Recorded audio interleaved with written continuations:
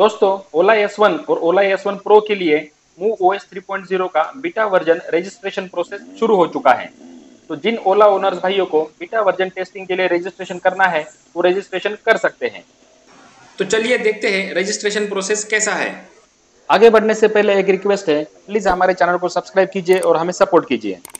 ये beta version registration का process आप अपने पीसी से भी कर सकते हो और मोबाइल से भी कर सकते हो। ये रजिस्ट्रेशन प्रोसेस हम अपने मोबाइल पर ही करने वाले हैं। चलिए शुरू करते हैं।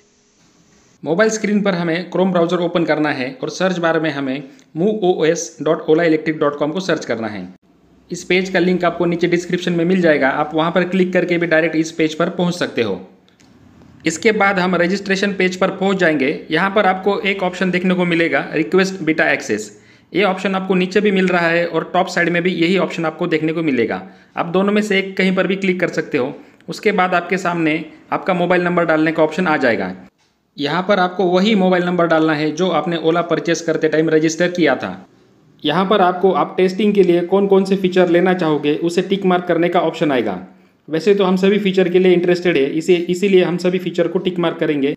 और नीचे I am not a robot पर टिक करके सबमिट कर देंगे। उसके बाद आपको thank you you are now on the wait list ऐसा एक पॉपअप मैसेज आएगा। इसका मतलब आपका काम हो गया है और आप अभी वेटिंग पर हो। यहाँ पर एक बात का ध्यान रखिए कि आपको वही मोबाइल नंबर एंटर करना है जो आपने ओला परचेस करते टाइम रजिस्टर किया था। क्योंकि आपके इसी मोबाइल नंबर से आपका स्कूटर ट्रैक किया जाएगा और आपके स्कूटर पर इस सॉफ्टवेयर को पुश किया जाएगा। और एक ज़रूरी बात, ये move O S three point zero का एक बीटा वर्जन है, यानी कि ये एक टेस्टिंग वर्जन है। तो इसीलिए इसमें कुछ प्रॉब्लम्स या कुछ बग्स भी हो सकते हैं।